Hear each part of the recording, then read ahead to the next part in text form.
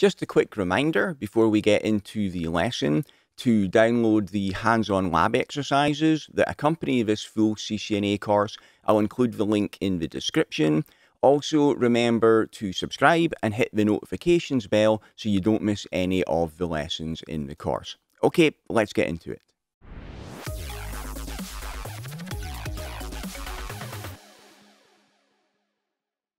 In this lecture, you'll learn how to configure and verify the IP settings on Windows, Mac, and Linux clients. I'll start off with Windows, and I'm on my Windows laptop here, and I've got Windows File Explorer open. This is what I find to be the quickest and most convenient way to open the network settings. There are other ways you can get there, such as going through Control Panel. But the way I like to do it is in Windows File Explorer, I will right click on Network and then choose Properties. And then I'll click on Change Adapter Settings. And then I'll see all of my network cards here. I've got a lot of network cards on my laptop because I've got a lot of virtual cards because I've got VMware installed. I'm plugged in with an Ethernet cable right now on this interface here. And if I wanted to configure the settings, I'll right click on that and choose properties.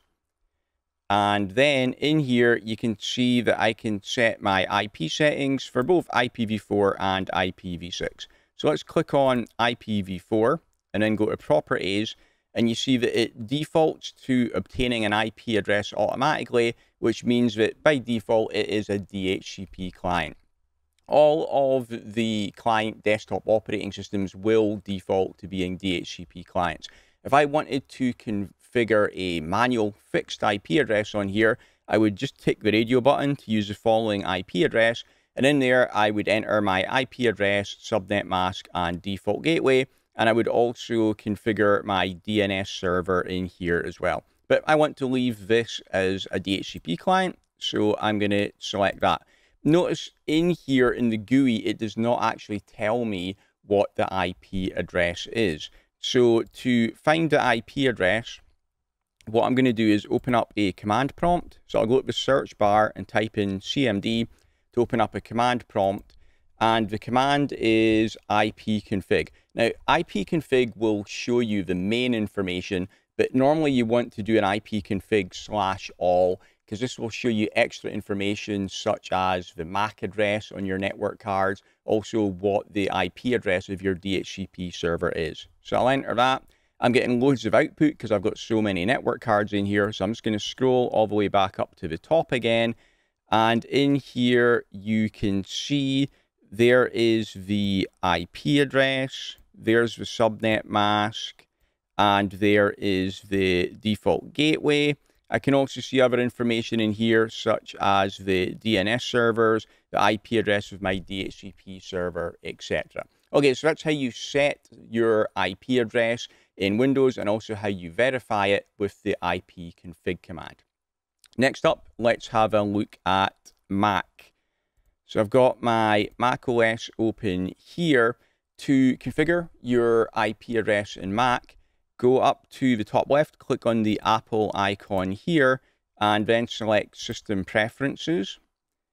And then click on Network. And then you'll see with Mac, it's a little bit different than Windows, that the GUI will actually tell you directly in here what your IP address is. Again, it's using DHCP by default, and I can see my IP settings in here. If I wanted to change this to be a manually set IP address, I just click on the drop down and I would choose manually in there. And then that gives me the option to enter my IP information.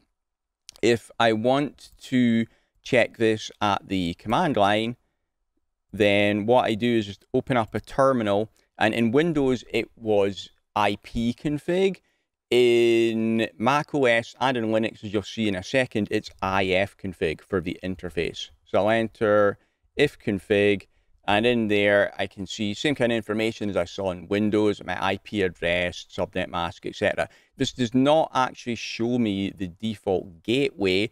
So to get that, what I do is a netstat, and then dash R for routes, and N for numerical to see it in IP address format and hit enter And then in there, I can see there is my default route and there is my default gateway.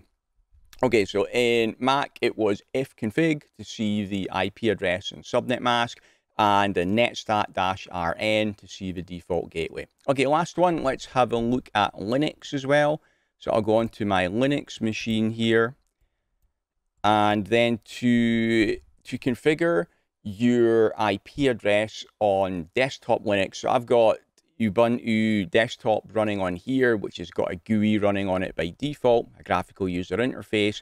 I can click on the show applications in the bottom left here. Then I'll click on settings and then click on network. And I can see my network interface cards here. To configure it, I click on the settings icon and then I can see the settings in there on the details tab. So that's where I can see my IP address information. To change it, I click on the IPv4 tab. Again, it defaults to DHCP and I could click on the manual radio button here and configure my IP address, subnet mask, default gateway, etc. Okay, so that's where you can configure it. If you want to verify it at the command line, then go to the applications again and then open up a terminal window. And on older versions of Linux, so you'll still see this on a lot of distributions, the command to use is ifconfig, the same as it was on Mac. You'll actually see that I'm running a newer version of Ubuntu Desktop here, which is why ifconfig is not installed by default. I could install that if I wanted to, just by running this command here but I'll show you what the new command is, and that is IP address show. And in there, I can see there is my IP address, and I can see it's a slash 24 subnet mask. This doesn't show me my default gateway. To see that, it is IP route show. And there I can see my default gateway is at 192.168.1.1.